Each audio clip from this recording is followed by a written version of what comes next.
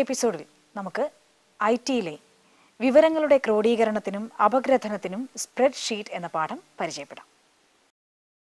ഇന്ന് നാം പരിചയപ്പെടുന്നത് മൂന്നാമത്തെ അധ്യായമായ വിവരങ്ങളുടെ ക്രോഡീകരണത്തിനും അപഗ്രഥനത്തിനും സ്പ്രെഡ് ഷീറ്റ് എന്നതാണ്. പഠന പ്രവർത്തനങ്ങളുടെ ഭാഗമായി നാം ശേഖരിക്കുന്ന വിവരങ്ങൾ ക്രോഡീകരിക്കുന്നതിനും അവയെ അപഗ്രഥിച്ച് നമുക്കാവശ്യമായ വിവരങ്ങൾ കണ്ടെത്തുന്നതിനും സഹായിക്കുന്ന സോഫ്റ്റ്വെയറാണ് സ്പ്രെഡ്ഷീറ്റ് ഇതിൽ നമ്മൾ നേടുന്ന ശേഷികളിലൂടെ പരീക്ഷണങ്ങളിലൂടെയും പ്രോജക്റ്റുകളിലൂടെയും നാം ശേഖരിക്കുന്ന വിവരങ്ങൾ ക്രോഡീകരിച്ച് അതിനെ അപഗ്രഥിച്ച് എടുക്കുന്നതിന് നമുക്ക് സഹായിക്കുന്നു. ഇപ്പോൾ നാം ഒരു പ്രവർത്തനവുമായി ബന്ധപ്പെട്ടുള്ള ക്രോഡീകരണവും അപഗ്രഥനവുമാണ് പരിചയപ്പെടുന്നത്. ചിത്രത്തിൽ കാണുന്നത് പോലെയുള്ള ഒരു പട്ടിക തയ്യാറാക്കി അതിൽ നിന്നും നമുക്ക് ആവശ്യമായിട്ടുള്ള വിവരങ്ങൾ ശേഖരിക്കുകയാണ് പരിചയപ്പെടലിലൂടെ നാം ചെയ്യുന്നത്. ഇതിനായി നാം ഉപയോഗിക്കുന്ന സോഫ്റ്റ്വെയർ ഓപ്പൺ ഓഫീസ് സ്പ്രെഡ്ഷീറ്റാണ്. അല്ലെങ്കിൽ ഇതിനെ ഓപ്പൺ ഓഫീസ് കാൽക്ക് എന്നും പറയാറുണ്ട്. ഓപ്പൺ ഓഫീസ് കാൽക്ക് എന്ന സോഫ്റ്റ്വെയർ തുറക്കുന്നതിന് ആപ്ലിക്കേഷൻസ് ഓഫീസ് സ്പ്രെഡ്ഷീറ്റ് എന്ന ക്രമത്തിൽ ക്ലിക്ക് ചെയ്ത് പോയാൽ മതി. ആപ്ലിക്കേഷൻസ് ഓഫീസ് സ്പ്രെഡ്ഷീറ്റ് എന്ന് ക്ലിക്ക് ചെയ്താൽ നമുക്ക് സോഫ്റ്റ്വെയർ തുറന്നു കിട്ടും.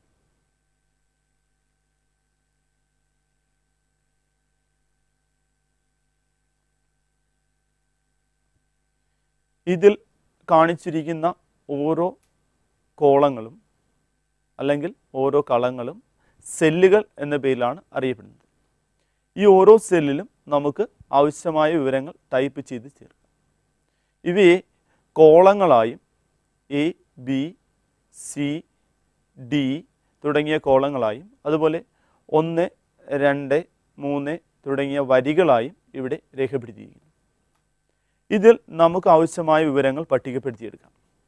ഉദാഹരണമായി നാം മുൻപ് കണ്ട ഒരു പട്ടിക തയ്യാറാക്കുന്നതിന് ഇതുപോലെ ഒരു പട്ടിക തയ്യാറാക്കുന്നതിന് നമ്മൾ ആദ്യം serial number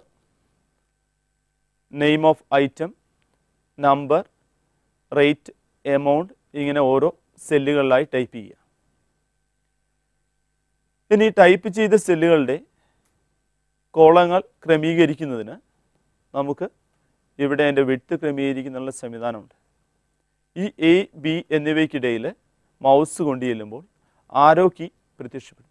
ഇതിന്റെ ഈ ഷേപ്പിൽ നിന്നുകൊണ്ട് ഇതിനെ വലിച്ച് നമുക്ക് ക്രമീകരിക്കാം.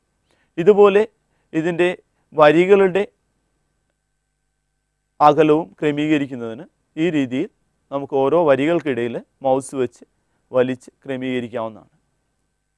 ഇനി ടൈപ്പ് ചെയ്ത സെല്ലുകളിൽ നെയിം ഓഫ് ഐറ്റം എന്നുള്ളത് നമുക്ക് പൂർണമായി കാണുന്നില്ല. ഇതിനെ കോളങ്ങളെ വലുതാക്കി നമുക്ക് ക്രമീകരിക്കാം. അതുകൂടാതെ രണ്ട് വരിയിൽ ഇതിനെ ടൈപ്പ് ചെയ്യുന്നതിന് എങ്ങനെയെന്ന് നോക്കാം. രണ്ട് വരിയിൽ ടൈപ്പ് ചെയ്യുന്നതിന് റാപ്പ് ടെക്സ്റ്റ് എന്ന ആപ്ലിക്കേഷനാണ് എടുക്കേണ്ടത്. ഒരു സെല്ലിൽ വിവിധ വരികളിലായി ടൈപ്പ് ചെയ്യുന്നതിന് നാം ഉപയോഗിക്കുന്ന ഓപ്ഷനാണ് റാപ്പ് ടെക്സ്റ്റ്. റാപ്പ് ടെക്സ്റ്റ് ഉപയോഗിക്കുന്നതിന് റാപ്പ് ചെയ്യേണ്ട സെല്ല് സെലക്ട് ചെയ്യുക. തുടർന്ന് format cells alignment wrap text automatically എന്ന് നൽകിയാൽ മതി.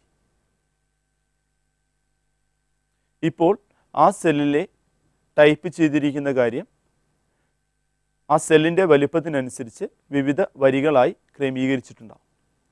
റാപ് ടെക്സ്റ്റ് ചെയ്യുന്നതിന് format cells alignment wrap text automatically okay ഇങ്ങനെ ക്ലിക്ക് ചെയ്ത് മുന്നോട്ട് പോകാവുന്നതാണ്. അടുത്തതായി ഇതിന് മുകളിൽ ഒരു റോ ഇൻസേർട്ട് ചെയ്യുന്നതിന്. പുതിയതായി നമുക്ക് ടൈപ്പ് ചെയ്യുന്നതിന് വേണ്ടി ഒരു റോ ഇൻസേർട്ട് ചെയ്യുന്നതാണ്. റോ ഇൻസേർട്ട് ചെയ്യണമെങ്കിൽ ഇൻസേർട്ട് റോ എന്ന് ക്ലിക്ക് ചെയ്താൽ മതിയാവും ഇപ്പോൾ നാം നേരത്തെ ടൈപ്പ് ചെയ്തിരുന്നതിന് മുകളിലായി പുതിയ ഒരു റോ പ്രത്യക്ഷപ്പെട്ടിരിക്കുന്നു. സെലക്ട് ചെയ്യുക. സെല്ല് സെലക്ട് ചെയ്ത ശേഷം ഇൻസേർട്ട് റോ എന്ന് നൽകിയാൽ അതിന് മുകളിൽ റോ പ്രത്യക്ഷപ്പെട്ടിട്ടുണ്ടാവും. ഇങ്ങനെ നാം പുതിയതായി തയ്യാറാക്കിയ റോയിൽ മൂന്ന് ഷോപ്പുകളിലായി പർച്ചേസ് ചെയ്യുന്ന ഐറ്റങ്ങളുടെ വിവരങ്ങളാണ് നൽകിയിരിക്കുന്നത്. ഇപ്പോൾ ഷോപ്പ് എയിൽ നമ്പർ റേറ്റ് എമൗണ്ട് ഇങ്ങനെ മൂന്ന് കാര്യങ്ങൾ ഉൾപ്പെടുത്തിയിട്ടുണ്ട്. ഷോപ്പ് ബിയിലും ഷോപ്പ് സിയിലും ഈ കാര്യങ്ങൾ ഉൾപ്പെടുത്തിയിട്ടുണ്ട്. ഷോപ്പ് എയിൽ ഉള്ള ഈ കാര്യങ്ങളെ ഷോപ്പ് എയുടേത് എന്ന് വരുത്തുന്നതിന് ഈ മൂന്ന് സെല്ലുകൾ തമ്മിൽ ഒരുമിച്ച് ചേർക്കേണ്ടതുണ്ട്. ഈ മൂന്ന് സെല്ലുകളെ ഒരുമിച്ച് ചേർക്കുന്നതിന് മേർജ് സെൽ എന്ന ഓപ്ഷൻ നമുക്ക് എടുത്താൽ മതിയാവും. മേർജ് സെൽ ചെയ്യുന്നതിന് ഫോർമാറ്റ് മേർജ് സെൽസ് എന്ന് നൽകിയാൽ മതി. ഫോർമാറ്റ് മേർജ് സെൽ എന്ന് നൽകിയാൽ നമുക്ക് സെല്ലുകൾ മേർജ് ചെയ്യാം.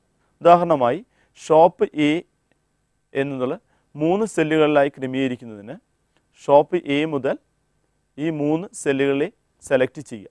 തുടർന്ന് ഫോർമാറ്റ് മേർജ് സെൽസ് എന്ന് ക്ലിക്ക് ചെയ്താൽ ഈ മൂന്ന് സെല്ലുകൾ ഒരുമിച്ച് ചേർന്ന് ഒറ്റ സെല്ലായി മാറും. ഈ വിധത്തിൽ ഷോപ്പ് ബിയും ഷോപ്പ് സിയും നമുക്ക് ക്രമീകരിക്കാം. ഷോപ്പ് ബി ക്രമീകരിക്കുന്നതിന് മൂന്ന് സെല്ലുകൾ സെലക്ട് ചെയ്ത് ഫോർമാറ്റ് മേർജ് സെൽസ് എന്ന് ക്ലിക്ക് ചെയ്താൽ മതി. ഇപ്പോൾ മൂന്ന് സെല്ലുകൾ വീതം ഓരോ വിവരങ്ങൾ നമുക്ക് ലഭിക്കുന്നതാണ്. ഇനി നമുക്ക് ഇതിനകത്ത് ഉൾപ്പെടുത്തേണ്ടത് അടുത്തത് സീരിയൽ നമ്പർ ഇട്ടിരിക്കുന്ന സ്ഥലത്ത് സീരിയൽ നമ്പർ ഇടുന്നതിന് വേണ്ടിയാണ്. ഒന്ന് രണ്ട് മൂന്ന് എന്ന ക്രമത്തിൽ നമുക്ക് ഇത് ടൈപ്പ് ചെയ്ത് നൽകാം. അതല്ല എങ്കിൽ നമുക്ക് സീരിയൽ നമ്പർ നൽകുന്നതിന് edit fill series down auto fill start value okay ഇങ്ങനെ ക്രമത്തിൽ ഉപയോഗിച്ച് കഴിഞ്ഞാൽ ആ ഓപ്ഷൻ ഉപയോഗിച്ച് ഫിൽ സീരീസ് എന്ന ഓപ്ഷൻ ഉപയോഗിച്ച് നമുക്ക് ഇതിനകത്ത് സീരിയൽ നമ്പർ നൽകാവുന്നതാണ്.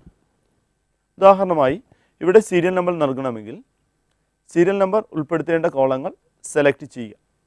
തുടർന്ന് എഡിറ്റ് ഫിൽ സീരീസ് എന്ന് ക്ലിക്ക് ചെയ്ത ശേഷം ഡയറക്ഷൻ ഡൗൺ എന്നും സീരീസ് ടൈപ്പ് ഓട്ടോ ഫില്ലെന്നും തിരഞ്ഞെടുക്കുക. തുടർന്ന് സ്റ്റാർട്ട് വാല്യൂ